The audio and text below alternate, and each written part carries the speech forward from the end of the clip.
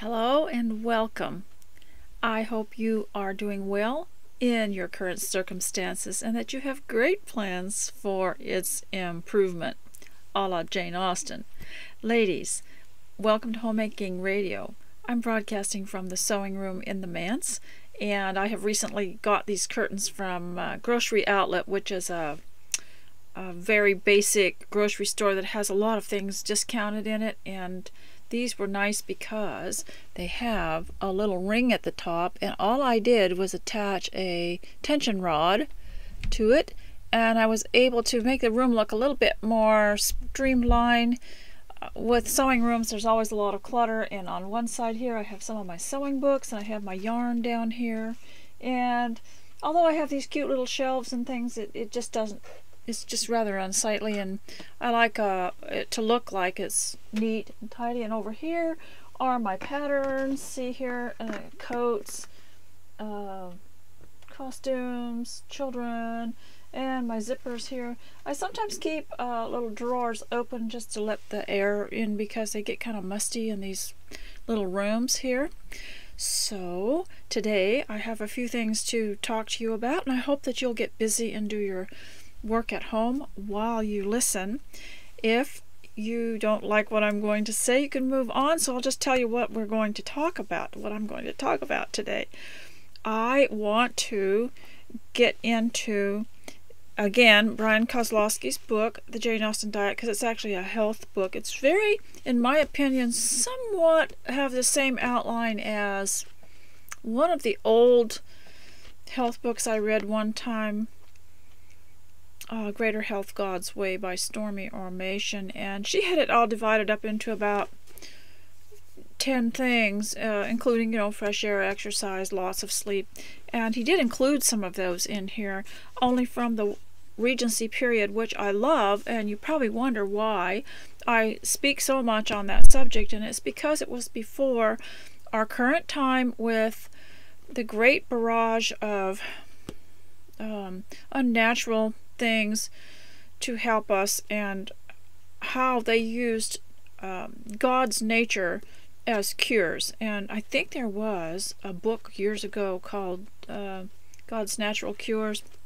No, no clue what that was. I may have read it when I was much younger, but I am also going to talk. I'm going to read from you from Mrs. Elizabeth Prentiss' book, Stepping Heavenward, a 16 year old girl's diary and her relationship with her family and other people. And the reason that I want to do that is because uh, you can't make this stuff up, and I can't make anything up and speak for 45 minutes or an hour on my own experience, and uh, my intelligence is limited to some of these books. And I'm also going to read to you out of Simple Social Graces because there's a chapter in here on housekeeping and homemaking, and I would be interested to know, and you will too when you hear it, the Victorian era, which was after the Regency era, and what their attitude towards housekeeping was. And so when we get to the homemaking section of this broadcast, then I want to bring that up.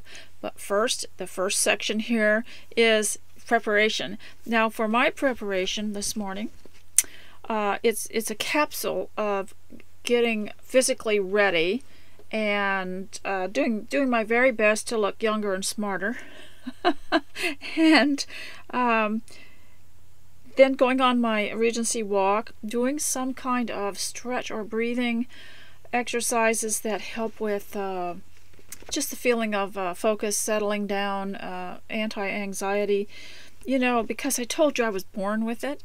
I was born with anxiety, and I uh, can't give it up easily. It's like an old friend, you know. And one of the reasons I think that that should be included, the uh, exercises and the anti-anxiety type of breathing and stretching in homemaking, is that the homemaker can get overwhelmed. She is the only one. She's the she's the head of her of the house keeping. And the Bible says in Titus 2 that she is to guide and guard the home. That is a huge job. And it a, the home isn't a house, it's the house plus the family that lives in it. And in the Bible, the home and house are interchangeable as far as that word is used. And so we want to start out with these wonderful things that we can do that are a little easier and almost instantaneous and one would be getting dressed up for the day bathing and and brushing your teeth and fixing your hair and and if you wear makeup painting on your face be doing the best you really can.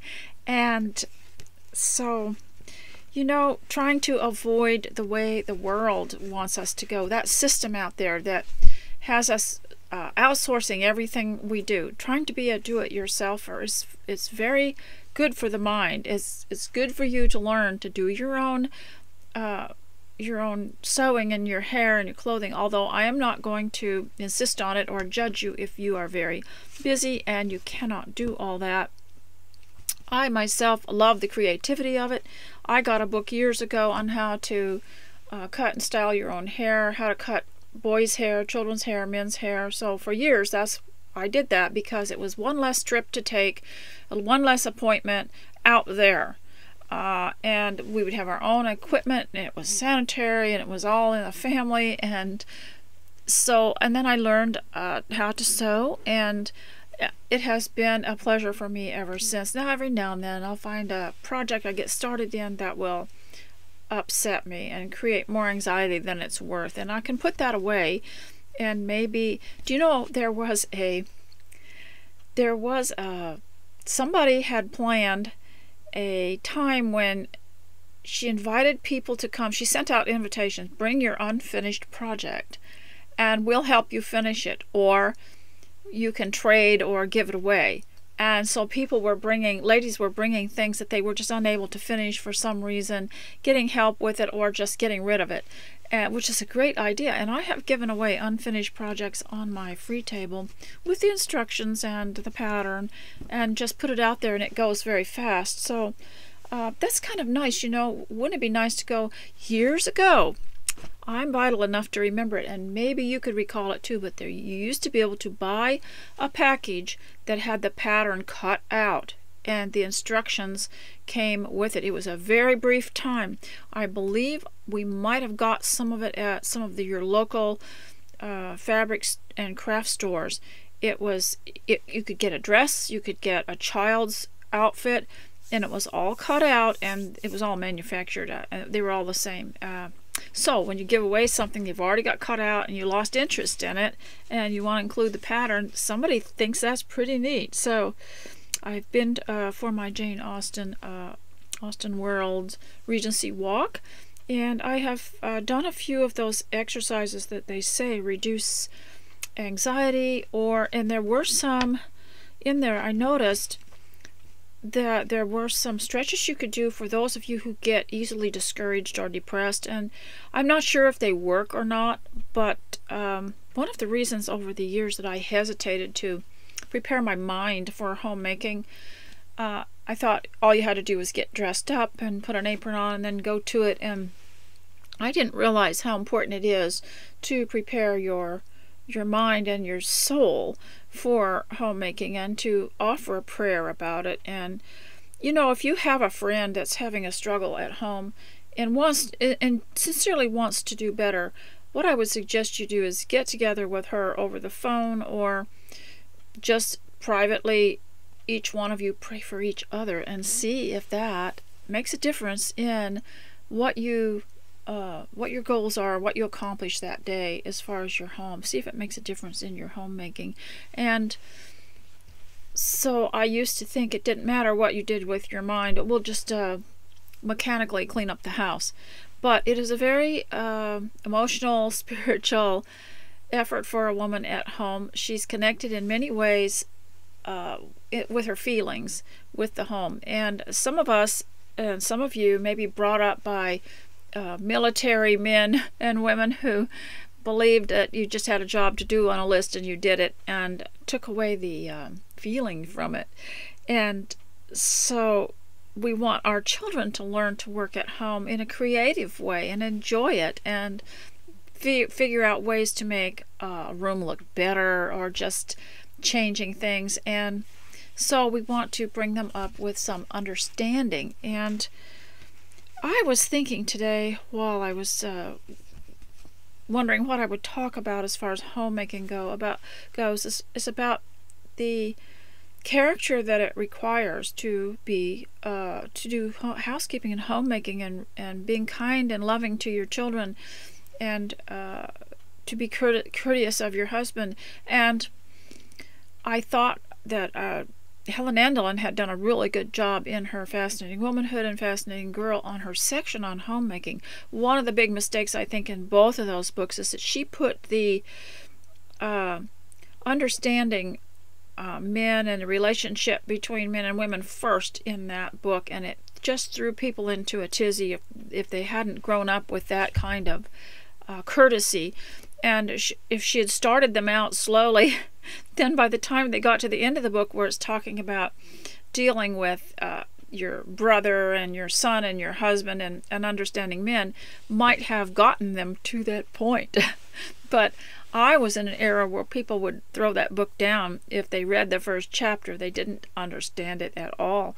But she had a really good homemaking section, which I believe she should have just started it out with character and then homemaking. And she mentioned in the homemaking section that homemaking was a matter of courtesy and good character.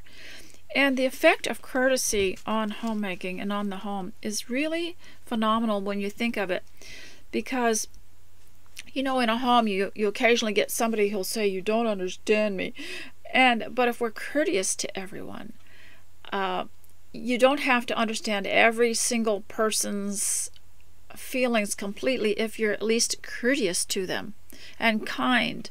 And that covers a whole lot of that wish to be understood. And there are some people that will not let you understand them. They'll say, You don't understand me, but they won't let you. And so, but courtesy, uh, being being kind, letting uh, letting people be free and freedom and making it easy for them to do what makes the home run smoothly.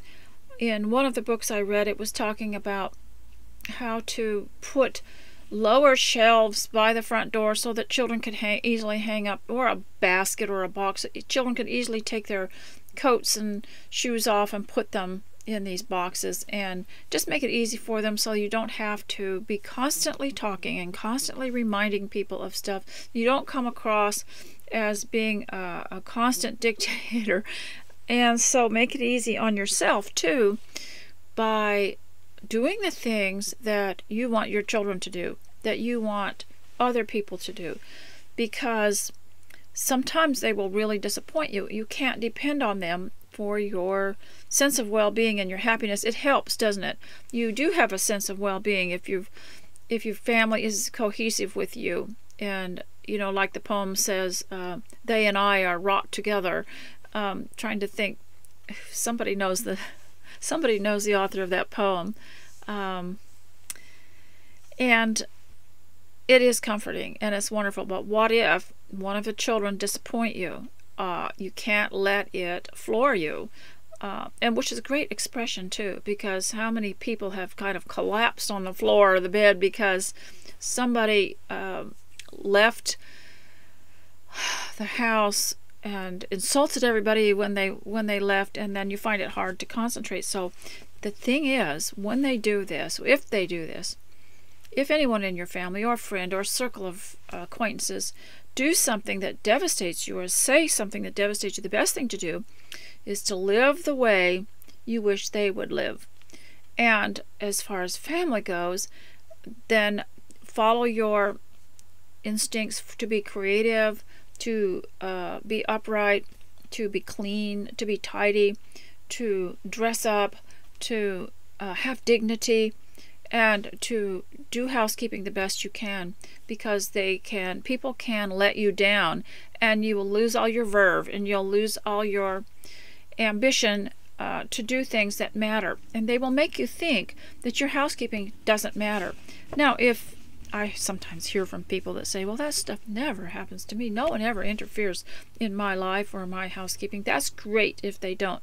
But sometimes it does happen to other people. And those of you who are, a, who are of a vital age know this. And one thing that I learned was that someone who's trying to stop you from doing well in the home or who's trying to uh, shut you down, shut you up, um, uh, smear you. I don't know if you know what, what that means. That means going around uh, label, labeling you and telling other people that you are uh, to be feared or to or to be avoided. That's called smearing. When they do that, it can it can really devastate you. So the best thing you you need to do is to make sure that you have steadfastness. Now, steadfastness in the home, let's say for your kitchen, you know, I told you all I have to do is look at something, and here comes the anxiety and the stress. But steadfastness means you don't you don't melt down over it. It means that you tackle it and you do it bit by bit. You don't have to um, go in with a great heave and make a lot of noise and, and express the fact that you're a martyr.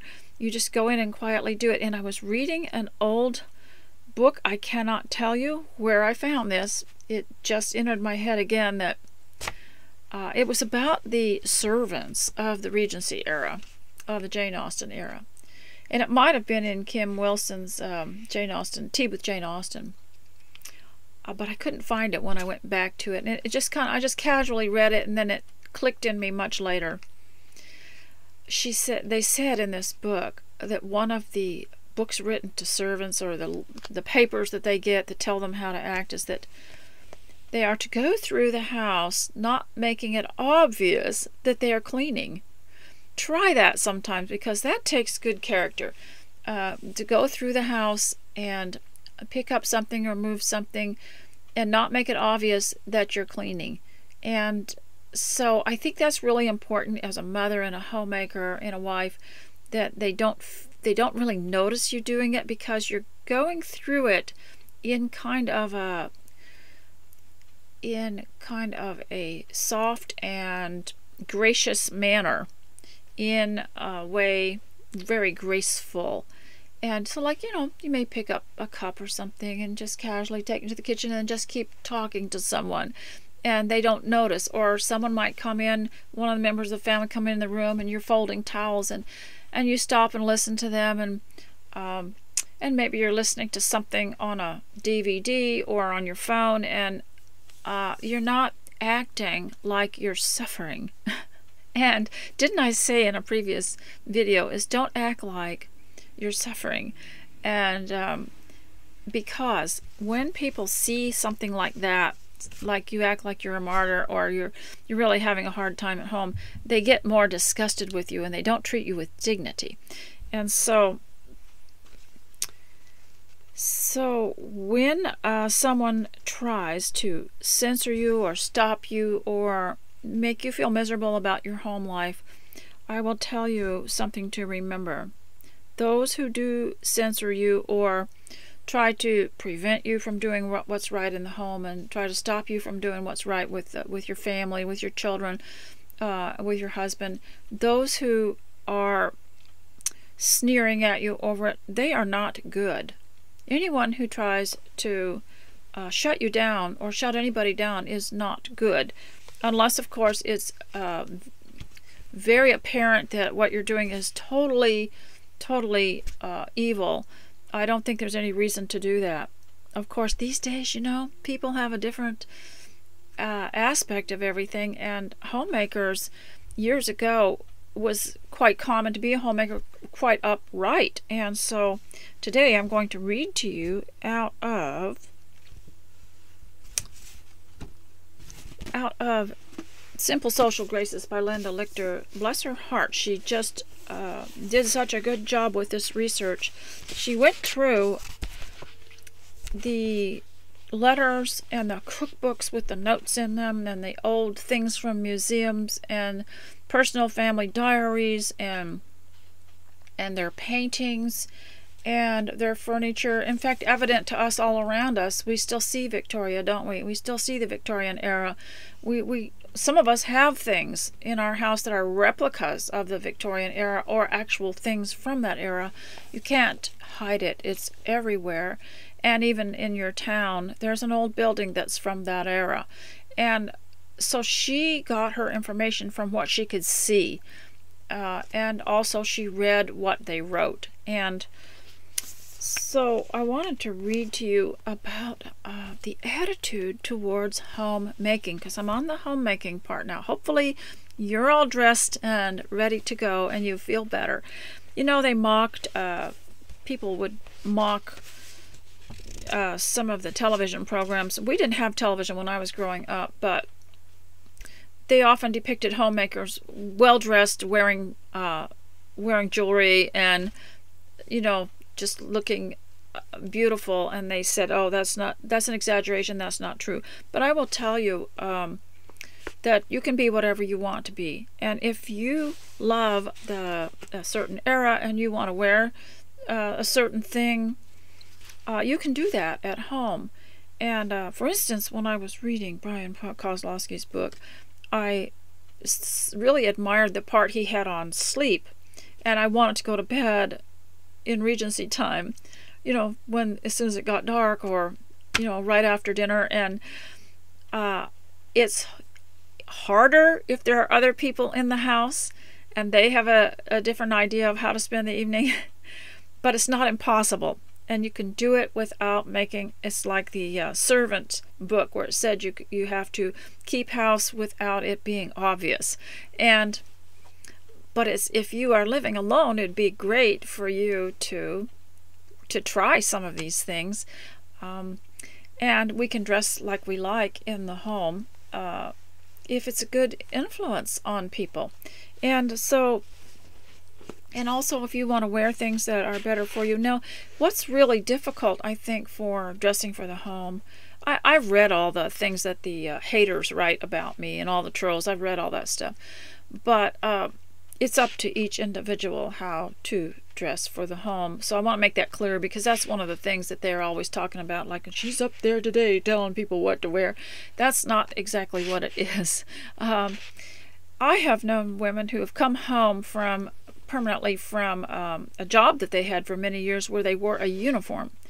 Well, wearing a uniform every day, you don't get any practice in choosing clothing that looks good on you or clothing that that fits you properly or clothing that is healthy for you. And so it's quite a, a, a challenge to some of these women to to dress in something that looks nice, that's that's pretty, that makes them happy, that's um, cheerful. And I mentioned in some of my earlier videos how clothing is an expression of, of how you feel about life and who you are. And so uh, if you've worked a long time and it's you had a dress code like a uniform type thing or a business apron or something like that, then it's it's going to be hard to adjust, but it can be done.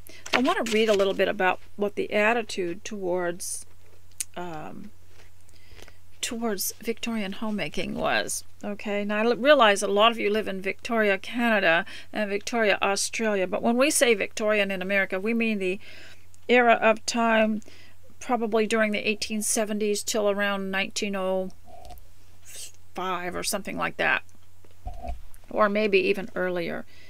Uh, and the Regency era was 1776 to to that era. So, okay. Okay, so let's listen to this here. Although the husband's major contribution to the home was financial, uh, financial, even the king of the castle was expected to reciprocate. Now, when I say king of the castle, a man might get the idea like, well, I'm king of the castle. I just go in and I'll start bossing everybody around and making them all wait hand and foot on me and be my servants and do my will. That's not exactly how it was, and never should it be that way. Um, even uh, the king of the castle was expected to reciprocate the devotion of his queen. That'd be queen of the house, would be the woman who who managed the home, who guarded it and guided it, uh, was expected to reciprocate the devotion of his queen. Do you want to look that word up? Reciprocate? It means to pay her back. The devotion of his queen, not his slave, via the dishes or the dustpan when required. Since family love and the home's intrinsic worth gave dignity to chores, Whoever did them never compromised his own dignity. Yes, it doesn't compromise your own dignity to wash dishes or uh, use the, or sweep. And if a woman at home, if you'd read that poem that I advised you, it was she was a phantom of delight, and it was about how she uh, did her domestic uh, chores almost like a. It was like my great grandmother was called. She was like a little bird. She just kind of flitted from room to room and did things, and and they didn't feel like it was beneath them, and also that homemaking was a matter of good character. And because good character are things like that homemaking requires is determination, dedication, um, virtue, which is the practice of goodness, courtesy, trying to uh, thinking about the people that, that live in your home, and thoughtfulness, and all these character qualities are involved in housekeeping and homemaking and care of your family because you don't want to just be mechanically cleaning things. You also want to be a great influence on their personalities and their character and be teaching as you go. Uh, and you remember the old, old illustration of a mother who's peeling carrots and all and cutting up vegetables and all the extra uh, stuff that goes into the bowl and gets put out on the garden again. And uh, so she's peeling all this stuff and she's uh, chopping it and she's washing it and so her daughter comes in and says, "Can I go to the this event?" Uh, and and she mentions a, a, kind of a wild party that her mother knew about, and she said, "Well," uh, she said, "Will you eat this?" and of course, it's still got the uh, the dirt on it from the garden. She's pulled up stuff and she's um, taken the taken the strings off of everything, and uh, it looked pretty bad. And her daughter said, "No, I wouldn't." She said, "Well, that's what it's like when you mingle in a situation where things are not." Uh, peaceful and good and building one another up and she tells her the opposite of going to one of these wild things and how it will do very little for her. It's a time waster, and she's going to come away with nothing, if not less. and so, um, so while you are homemaking, there are opportunities everywhere to to um, influence your family with good values, even if all it is is dressing up and giving everyone an approving smile and being kind and gentle with everyone, especially when they make mistakes and children's minds are not fully formed. And you may get a child who's a lot taller than you and they'll say something completely off and rude, but you have to be more mature than they are because they are not thinking straight and their minds are not fully developed. So you can't argue back with them like they're an equal. They are not. They have not um, risen to having a fully developed uh, thinking process yet. And uh, so we have to be kind and loving to them too. They they it's like it's like the Bible says, like Jesus said, Father forgive them, they know not what they do. So let's see what happens here. Since family love and the home's intrinsic, intrinsic worth gave dignity to chores, whoever did them never compromised his own dignity. As Henry C. Wright, um, that was some Victorian writer in the 1800s, explained in a chapter entitled Home and Its Influence in his 1855 Marriage Guide, Marriage and Parentage, the details of domestic economy can never be repulsive to the true husband. Yes, and many of us who were sick when we were pregnant, uh, our husbands did it very awkwardly, but they managed you know, it wasn't well done. It wasn't well done. The the house was not well cared for. They didn't do everything right, or the dishes or the laundry right. Not like we would do it, but they weren't beneath it. They wanted to help. the the marry the economy of uh, the domestic details of the home can never be repulsive to the true husband. On the contrary, to relieve the wants and cares of his wife in any way and help her to bear the burdens of household labor is not to serve as a menial, but to cherish her and sustain her as a husband should. However minute the service, it seems refined and manly. It is whining about taking it is whining about taking out the garbage that would have been unmanly. Pulling your weight on the home front wasn't just permissibly masculine in an age before that quality meant controlling the TV remote. It gave real substance to the love that must ever be the one consecrating sentiment of the husband's life. This fathoms the depths of his being and swallows up all other experiences. More than any other, this notion that a man should pull his weight at home separated the men from the boys at a time when such distinctions were essential. The now alien idea that scrubbing the hearth use cherished was ennobling also illuminates the gulf between the genuine Victorian home and Martha Stewart's version of what is often mistakenly assumed to be its current incarnation. That's basically about uh, her her things Martha Stewart was basically about how to do how to do at homemaking, and I I learned a lot from her. But what she's trying to show here is that running the Victorian home was more of a loving and spiritual object, and not so much the right way to do everything, but that that they did it.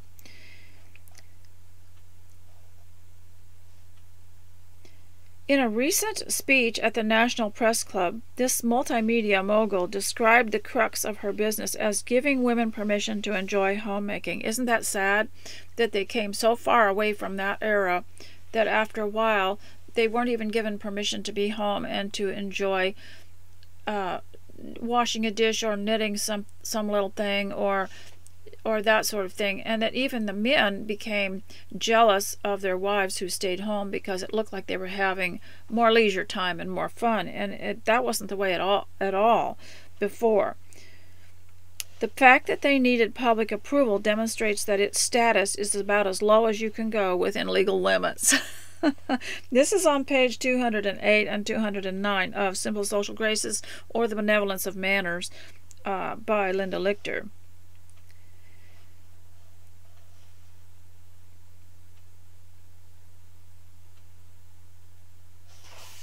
So that's just a brief um, summary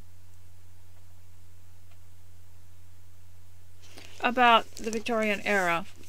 Now, that would be the 1800s. Now, I also want to read to you about uh, the Jane Austen lifestyle, and I'm going to read about the dark. And one of the reasons I started going to bed now, I say I go to bed really early, like right after supper, but I could get up, you know, several times, walk through the house, go see how everyone's doing, say hi to someone. The other day was really awkward because I went to bed and uh, my descendants were here and they had invited someone over to sing with them and uh, and I didn't know it. I was just completely out of it. So I got up and kind of, I thought, oh, I'm going to go get something to eat. And I got up and went through the house, and there they were singing together. And they said, oh, did we wake you up? But no, I didn't even know they were there. And um, I think that word has gotten around that I'm going to try this going to bed very early. Uh, we'll see what happens. Um, so this is called I Am Quite in the Dark. So, and it's in the chapter called A Taste for Nature. And it's about one of the reasons I want to replicate this era is because I would like to watch my expenses and cut down on electricity bill and the propane bill and the power bill and turn off everything and just light candles. Now, I don't light real flame candles. I have the battery operated ones and um, I just want to just want to try it. And if you're living alone, it's going to be easier to do this. But uh, if you have people around you, they might not want to do that, and uh, so it, it will be an adjustment, but you can figure it out. So, as night falls on Austen World, Jane's nature prescription comes full circle, meaning the residual bonus of soaking up more natural light and fresh air during the day is the amazing sleep it can give us at night. So you'll often hear people say they don't sleep. They just don't sleep anymore. And it's possible that they have not had enough sunshine and fresh air, or that other things are sapping up the the sleep hormone. And uh, so let me just keep reading about this.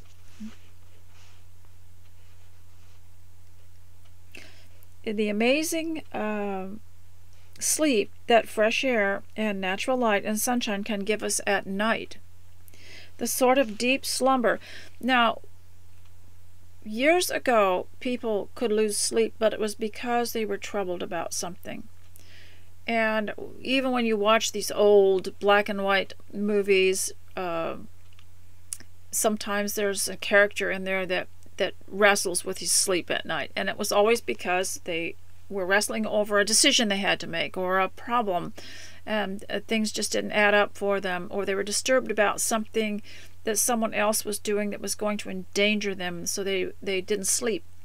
And that could be why many people uh, have so much uh, wakefulness and adrenaline is because they've taken on these concerns about what's going on or other people. And one of the reasons we resist the simple solution to lack of sleep or inability to sleep is we, we are often um, afraid that if we get too relaxed and too comfortable and too able to sleep and forget about the world that we will lose our ability to be alert. And actually it's the people that are full of tension that aren't alert because when they have a problem or something uh, uh, confronts them, they're like a deer in headlight. They just they're stunned. They stop. They can't do anything. So don't worry if you get too relaxed and you're able to sleep. You might even be more alert to uh, to any kind of necessary response that you have to make in the home. So, fresh air during the day is the amazing sleep it can give us at night, the sort of deep slumber Marianne sinks body and heart into, rising the next morning with recovered spirits and happy looks.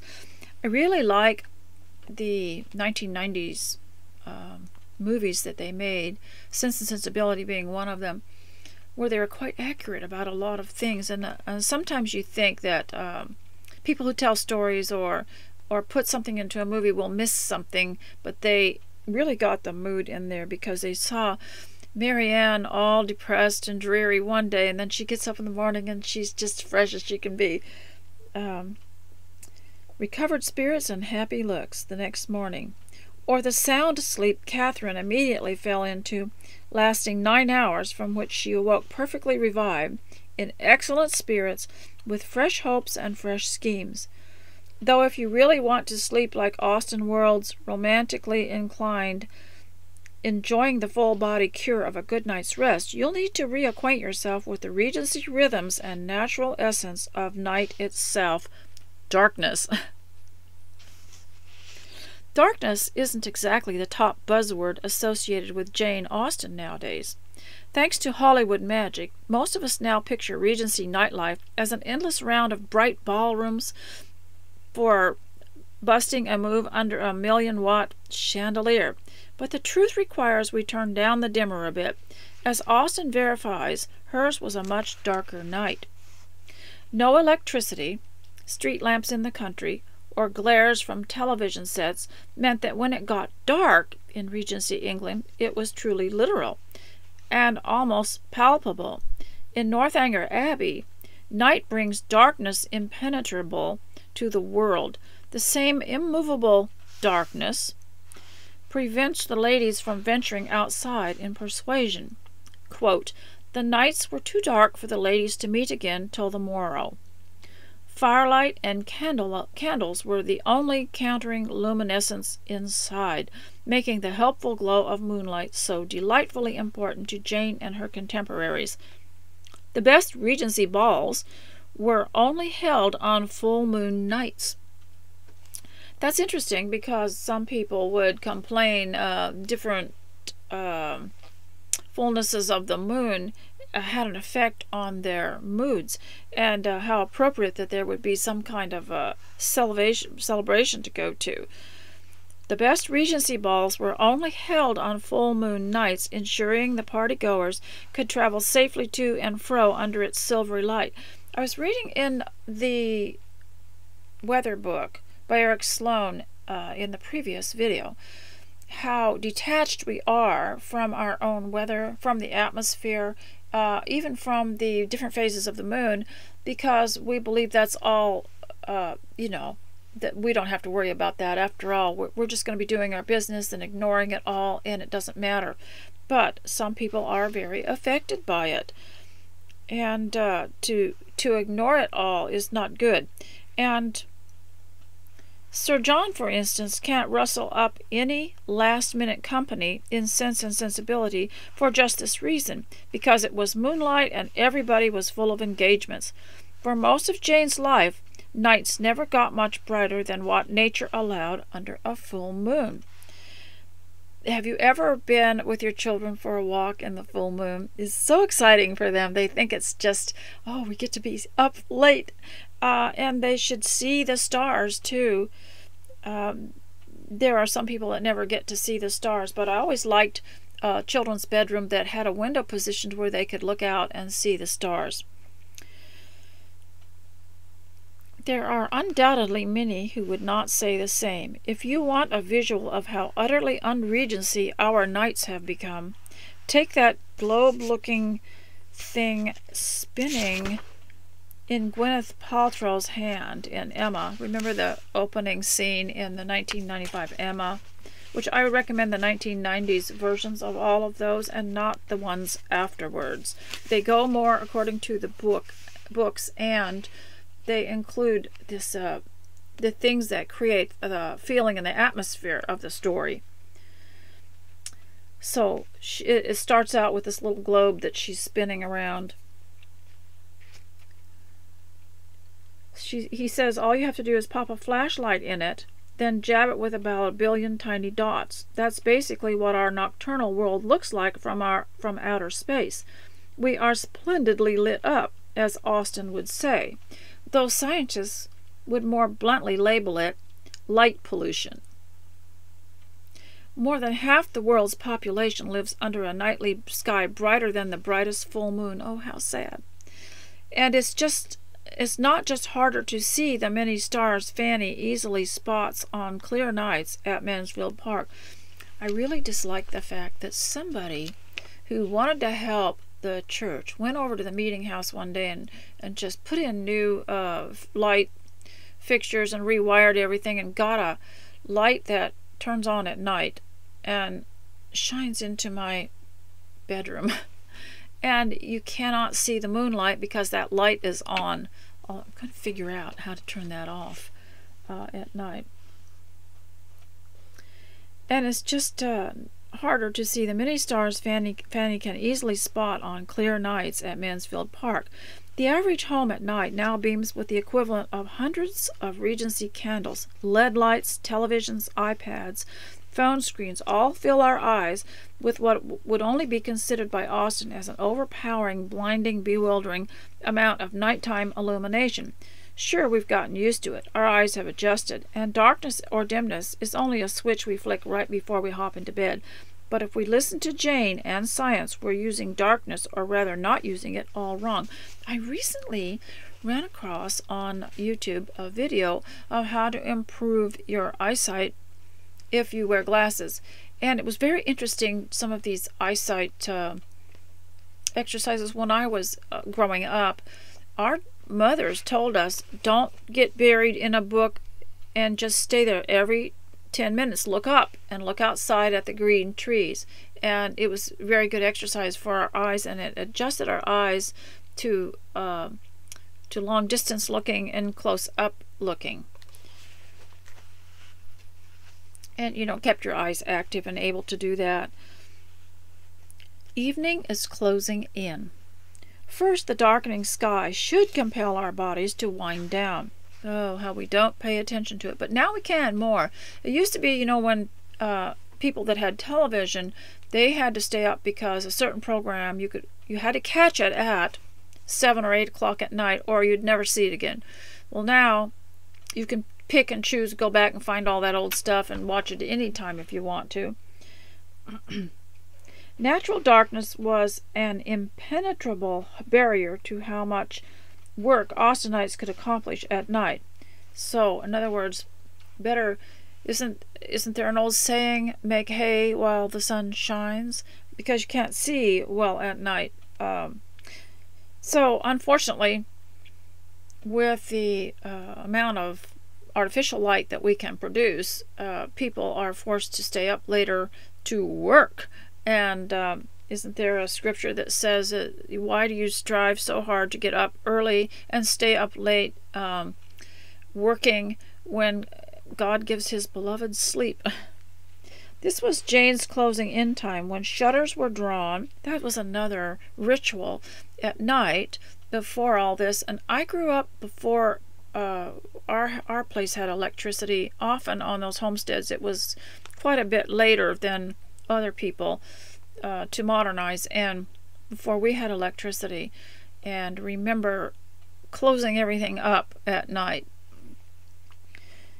Uh, shutters were drawn, candles were lit, and we had um, kerosene lanterns with a little uh, wick, strange looking wick. And uh, people settled in for a quiet evening. Balls, of course, were periodically attended, and moonlight walks in summer a special treat.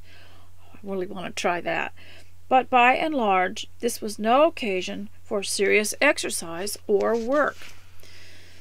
General Tilney's insistence that he must work late into the night at his desk in Northanger Abbey is markedly odd and not very likely to Catherine.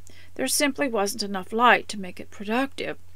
Austen speaks of the rosy dimness of Regency candles. They emitted enough they emitted enough light for the usual evening amusements of Austen World reading, playing card games, or music, but not enough to get too often much wilder than that. Yawns gradually commence, and by 10 p.m., the majority of Austen World is ready for bed. Today, most of us only experience this Regency nighttime ritual on camping trips. As the sun sets, and with only the amber light from a fire, our bodies instinctively settle down, popping into sleeping bags far earlier and more tired than usual. Normally, however, closing in at night means clicking on, Bright lights and even brighter screens mean we can now work and exercise at whatever hour we wish, though ignoring the cues of darkness comes with the unintended consequence sickness. For one, working too frequently at night is now listed as the suspected carcinogen of the American Cancer Society. The biological stress involved in overriding your body's natural desire to wind down at night can wreak havoc on your immune system, not to mention your sleep quality. And I think as women, as guards and guides of the home, we have to really be careful about this.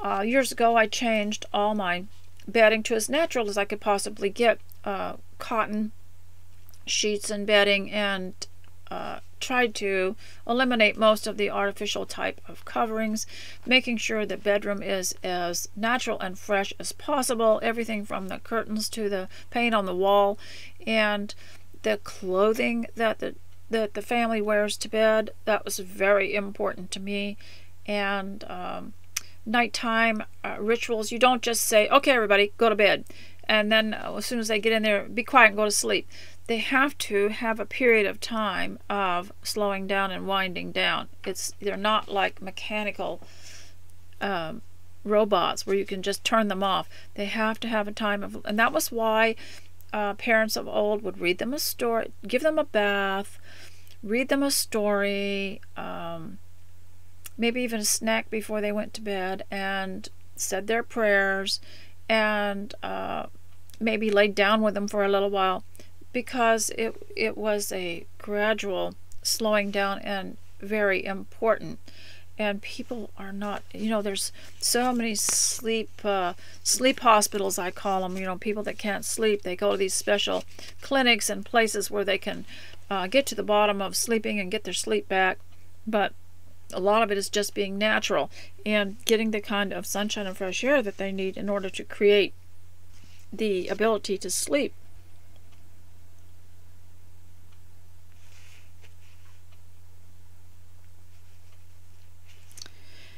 Um, so, bright lights and even brighter screens mean we, mean we now can work and exercise at whatever hour we wish, though ignoring the cues of darkness comes with unintended consequences, sickness for once. And um, being too busy or stressed at night is the one thing guaranteed to keep Austen characters up and buzzing. I have watched a wretched night, said Marianne. I have passed a wretched night, says Marianne, stressed out by that scoundrel Willoughby. And when when that happens, Austenites rely on the same old-fashioned darkness to wind them back down again. So,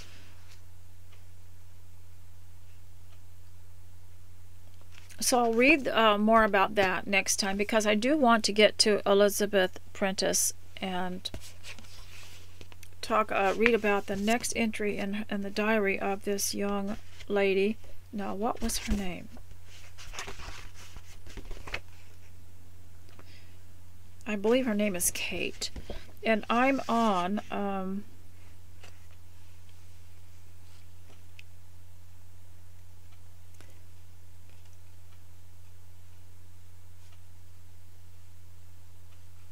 I don't remember where I am, but my, my bookmark says I'm over here.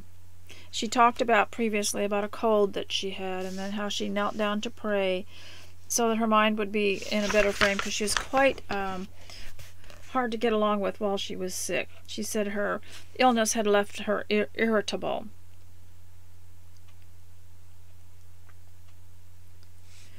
And how she had uh, so let's read February 20 and March 26. It has been quite a mild day for the season, and the doctor said I might drive out. Now she's only 15 or 16 at this time. I enjoyed getting the air very much. I feel just well as ever, and long to get back into school. I think God has been very good to me in making me well again, and I wish I loved him better. But oh, I am not sure I do love him. I hate to own it to myself and to write it down here, but I will. I do not love to pray. I am always eager to get it over with and out of the way, so as to have leisure to enjoy myself. I mean that this is unusually so. This morning I cried a good deal while I was on my knees, and felt sorry for my quick temper and all my bad ways. If I always felt so, perhaps praying would not be such a task. I wish I knew whether anybody exactly as bad as I am ever got to heaven at last. I have read so many memoirs that they were all about people who were too good to live and so died or else went on a mission. I am not at all like any of them. Yes, that's the way we all feel, isn't it? Okay, March 26. I have been so busy I have not said much to you, you poor old journal. Um, somehow I have been behaving quite nicely lately. Everything has gone exactly to my mind. Mother has not found fault with me once, and father praised my drawings and seemed proud of me. He says he shall not tell me what my teachers say of me, lest it should make me vain. And once or twice, when he has met me, met me singing or frisking about the house, he has kissed me and called me his dear little flibbergibbet, flibbertigibbet, if that's the way to spell it. When he says that I know he is very fond of me, we are all very happy together. In the long evenings when we sit around the table with our books and our work, and one of us reads aloud, Mother chooses the book and takes her turn in reading. She reads so beautifully. Of course, the readings do not begin till the lessons are all learned. As to me, my lessons just take no time at all. I have only to read them over once, and there they are. So I have a good deal of time to read, and I devour all the poetry I can get a hold of. I would rather read Pollok's Course of Time than read nothing at all. Now, some people have, some authors have taken books like this were written in the 1800s and turned them into devotional workbooks and other things to uh, so that you could make them into lessons more meaningful. April the 2nd, and this is is this 1839 1831 there are three of mother's friends living near us each having lots of little children it is perfectly ridiculous how much those creatures are sick. They send for mother if so much of a mark comes out on one of their faces. When I have children, I don't mean to give have such goings on. I shall be careful about what they eat and keep them from getting cold, and they will keep well of their own accord. Mrs. Jones just sent for mother to see her Tommy. It was so provoking. I had coaxed her into letting me have a black silk apron. They are all the fashion now, embroidered in floss silk. I had drawn a lovely vine for mine entirely out of my own head, and mother was going to arrange the pattern for me when that message came, and she had to go. I don't believe anything really ails this child. Okay, April 3. Poor Mrs. Jones. Her poor little Tommy died. I stayed at home from school day and had all the other children here to get them out of their mother's way. How dreadfully she must feel. Mother cried when she told me how the dear little fellow suffered in his last moments. It reminded her of my little brothers who died the same way just before I was born. Dear mother, I wonder I ever forget what troubles she has, and not always sweet and loving. She has gone now, where she always goes when she feels sad, straight to God. Of course, she did not say so, but I know mother. April 25. I have not been down in the season this week. I have persuaded mother to let me read one of Scott's novels and have stayed up late and been sleepy in the morning. I wish I could get along with my mother as nicely as James does. He is late far oftener than I am, but he never gets into such scrapes about it as I do, and this is what happens. He comes down when it suits him. Mother begins, James, I'm very displeased with you. James, I think you should be, Mother. Mother mollified. I don't think you deserve any breakfast. James, no, I don't think I do either, Mother. Why is it these young men are so humorous and they get away with this? Then Mother hurries off and gets something extra for his breakfast. Now let us see how things go when I am late. Mother, Catherine, she always calls me Catherine when she's displeased and spells it with a K. Catherine, you are late again. How can you annoy your father so? Catherine, of course I don't do it to annoy father or anybody else, but if I oversleep myself, it's not my fault. Remember that that uh, phrase, oversleep myself, and remember in Wives and Daughters when Hyacinth uh, let Molly sleep in her bed while she waited for her father to come and get her. And uh, so Molly woke up and was mortified and that she had slept so long and her and uh, Hyacinth said you shouldn't have overslept yourself in a strange bed. But I haven't heard that that saying in our era overslept yourself. If I oversleep myself it is not my fault. Catherine uh, Mother I would go to bed at eight o'clock rather than be as late as you are how should you like it if I were not down to prayers? Catherine, of course that is very different. I don't see why I should be blamed for oversleeping more than James. I get all the scoldings. Mother sighs and well, goes away. I prowl around and get what scraps of breakfast I can. So, yes, it's nice that she recorded all this, but this was one reason I never kept a diary. Is there's a stage of life you go through where you notice other people in the family are they seem to float through everything and not have any conflict. But you, being the oldest, uh, are held accountable for everything, and it's not fun to write about. And so that's one reason I did not write a diary because I would start one and then I start reading, thinking, uh, do I want my children to read this? and so everything seemed, uh, the recording of it wasn't all unpleasant, but uh, it isn't something that I wanted my children to read, so I just never, I never kept it up. Now, ladies, I hope that some of this has been helpful for, for you in your homemaking. And I want to read one more scripture to you because this is very helpful because it's what I said homemaking, housekeeping, caring for the home, and getting along with others in the home is a matter of good character. And I found the, a very excellent description of good characters that it's an, an adding equation. And if you're homeschooling yourself or other people in your home. One of the things you may run into is the problem of teaching um, character. And when they have a list, which there's a list here, and you'll say, Today we're going to study um, faith. And then the next day you say, Okay, we're doing virtue today. They might say, Well, I already studied faith. I'm not going to work on that anymore. Won't worry about the faith because today we're studying virtue. And they don't realize that one thing builds on the other, and you have to keep the previous thing you learned and add the next thing to it. And you can't just say, like, let me just read it to you, and you'll see how people do. They'll throw all of it away except the one they're working on, and they'll say, well, I, I don't want to deal with that one anymore. Make every effort to add to your faith virtue. There's two character qualities there. And to virtue with knowledge, and to knowledge self control, and to self control steadfastness. Now remember, I said steadfastness meant um, a steady, resolute devotion to something.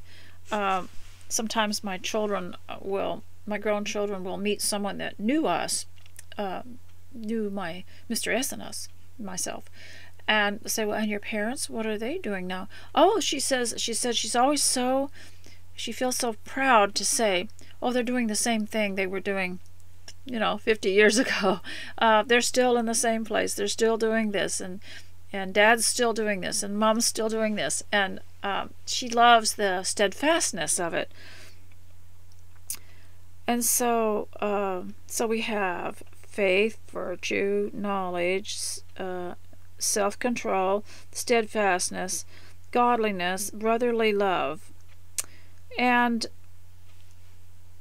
it takes all these things to to run the home, to be a guard and a guide of the home. You have to because you have to have self-control. And so homemaking is a matter of good character. And these are good character qualities. And it comes from 2 Peter chapter 1, verse uh, 5. And so you add one to another. You don't just like, okay, today I'm going to work on self-control it the self-control is is more difficult if you don't preface it with the things that it put before it.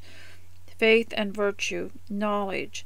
And and self-control is a lot easier once you get knowledge once you understand the the problem or the the, the reason you can't get self-control about something once you dig into something and study it and learn it, then the self control becomes easier. And anything, once you get knowledge about it, you uh, can master it. So, ladies, I hope that this has done you good today, and that, uh, and I just appreciate your comments. Uh, you're too good uh, for me, and I appreciate all you do for me and for your encouragement and for coming here. And uh, I hope that you do really well today, and that you will see what a great and noble task you are doing, even though the world doesn't laud it as important. Uh, a lot more important than they realize. And so, I will see you next time. In the meantime, stay close to Christ. Goodbye.